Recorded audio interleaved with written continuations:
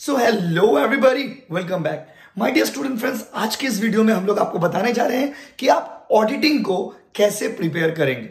भाई और बहनों, ज़्यादा नहीं, सिर्फ़ तीन बात को ध्यान में रखना है।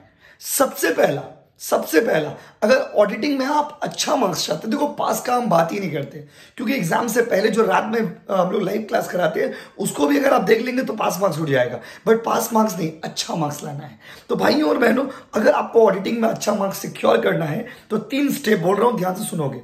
स्टेप वन सारे वीडियोज़ को देख लीजिए चैप्टर वाइज सर, हम तो आपके पास पढ़ते नहीं है। कोई दिक्कत नहीं, जहाँ भी पढ़ते हो, जो भी सर के पास पढ़ते हो या मैम के पास पढ़ते हो, उन्होंने चैप्टर्स कराए होंगे ऑडिटिंग के। सारे चैप्टर्स प्रोबेबली कंप्लीट हो गए होंगे आपके ट्यूशन में। तो अपना चैप्टर्स कंप्लीट कर लीजिए ग्राउंड चैप्टर रीडिंग कर लिए। उसके बाद स्टेप टू मेरा मेरा सजेशन जो कि आपको डिस्क्रिप्शन में मिल जाएगा कोचिंग का टेलीग्राम चैनल वहाँ पर मैं डाल दे रहा हूँ। आंसर के साथ पीडीएफ है। आंसर के साथ पीडीएफ है रे बाबा। ठीक है? उसको प्रिंट आउट करा लीजिए। ठीक है step two step three each and every question को समझ के पढ़िए, समझ के।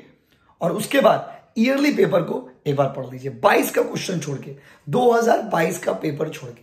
क्लियर है गाइस सर 22 का पेपर सजेशन ये सब कहाँ मिलेगा? कोचिंग का डिस्क्रिप्शन बाबा डिस्क्रिप्शन में जाओ।